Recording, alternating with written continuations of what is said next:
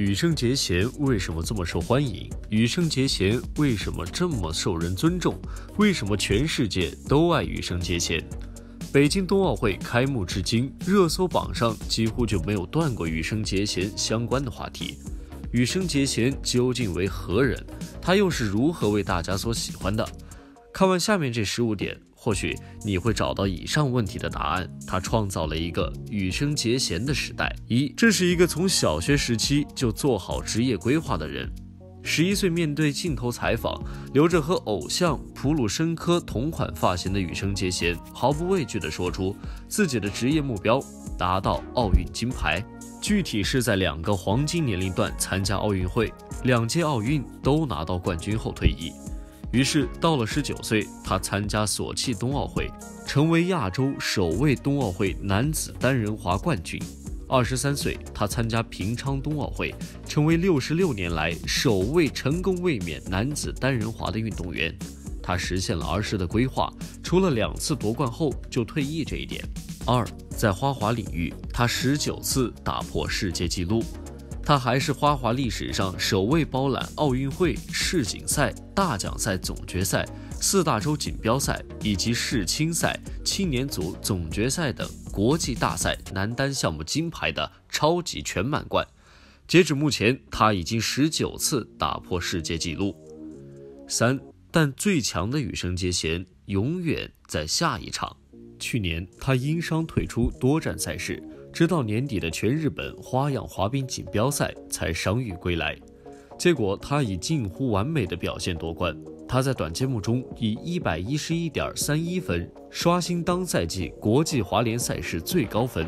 之后在自由滑中挑战四周半，周数不足但安全落冰，这是花滑运动员此前从未有过的尝试，为全世界所关注。四，一个运动员可以闪光很久。关键在于他在不同阶段追求什么。北京冬奥会上，羽生结弦再次代表人类向四周半发起挑战。四周半跳的基础得分是十二点五分，仅比四周高一分，风险却大得多。从分值上看，性价比不高。但平昌冬奥会之后，羽生结弦给自己设定的新目标就是跳出自己心中的四周半。五，羽生结弦在不同阶段的追求。某种程度上在推动整个花滑的发展，如他所说，大家会以拿下世界冠军为目标去提升自己的水平。如果那位世界冠军也提升水平，花滑整体水平就会更进一步。这是一个很正面的连锁反应。我得成为那个角色，也希望自己做得到。他的生活几乎只有花滑。六，羽生结弦今年二十七岁，出生于日本仙台。父亲为他取名结弦，是希望他的人生能像弓弦一样张弛有度。小时候因为得了哮喘，羽生结弦跟着姐姐一起学花滑。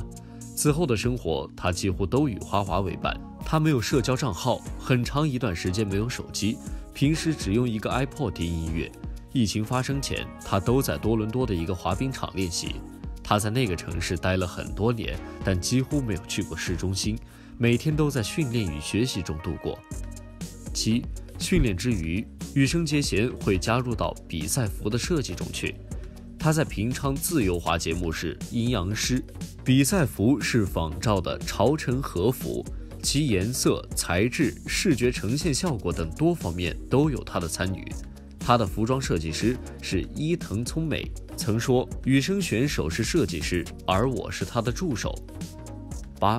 音乐也要自己把控，在阴阳师中，羽生结弦说自己的每个动作都要跟音乐合拍，于是他根据跳跃、旋转等步伐节奏自行编制曲子。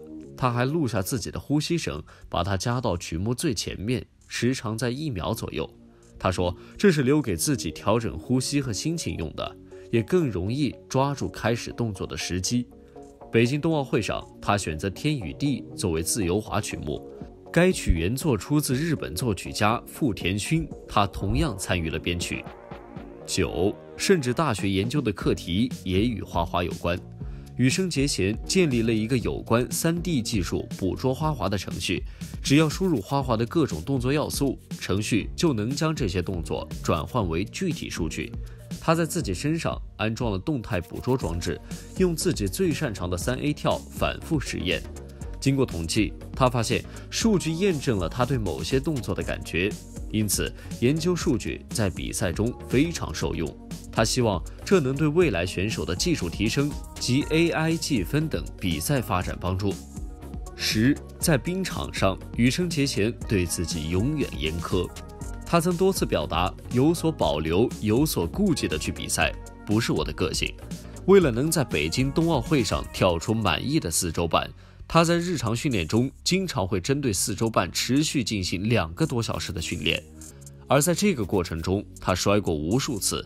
他也对此表达过：“我是带着自己指不定哪次就会摔出脑震荡，然后死掉的心理准备在训练的。”十一走下冰场，还有另一个竞技场，在这个竞技场中，羽生结弦有着高情商、举止礼貌谦逊，这样的例子不胜枚举。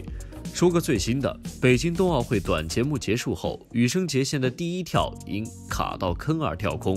赛后，他自我调侃，也不知道今天自己做了什么，今天被冰讨厌了。看来不能日行一善，要日行十善才行。在耐心回答完记者们的提问后，又向在场记者们鞠躬感谢才离开。十二，对粉丝们保持友善交流。每次比赛结束，羽生结弦都会向粉丝鞠躬感谢，并用不同的语言轮番说着谢谢。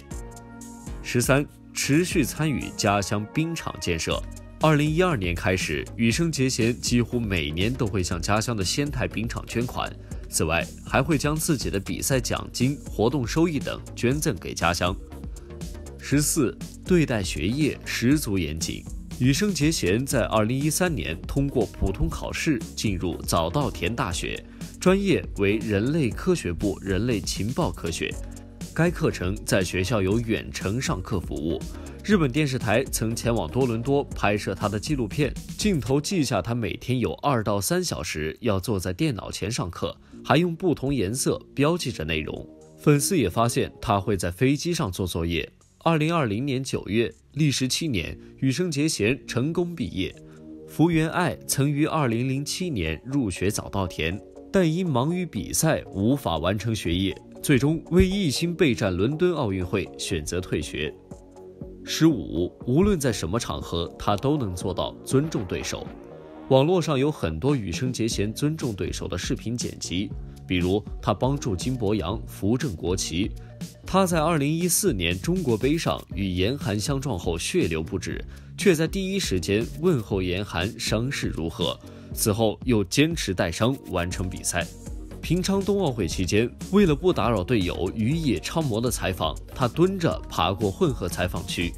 二零一八年花样滑冰大奖赛俄罗斯站，羽生结弦带伤夺冠。赛后，他拄着拐杖登上领奖台，这是对比赛的尊重，也是对对手的尊重。